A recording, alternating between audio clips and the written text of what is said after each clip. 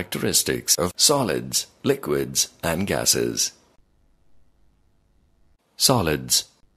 All solids show the following characteristics. 1. Solids are rigid and incompressible. 2. Solids have fixed shape and definite volume. 3. Solids have their melting and boiling points above room temperature. Liquids. All liquids show the following characteristics. 1. Liquids are almost incompressible but less incompressible than solids. 2. Liquids have fixed volume but no fixed shape. 3. Liquids flow from higher to lower level. 4.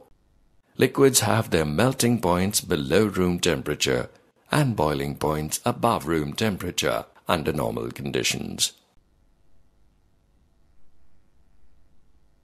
Gases. All gases show the following characteristics. 1. Gases are highly compressible.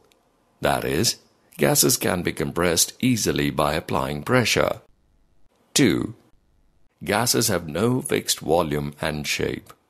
Gases fill the container of any size and shape completely. 3. Gases can diffuse into each other rapidly. 4. Gases have their melting and boiling points both below room temperature.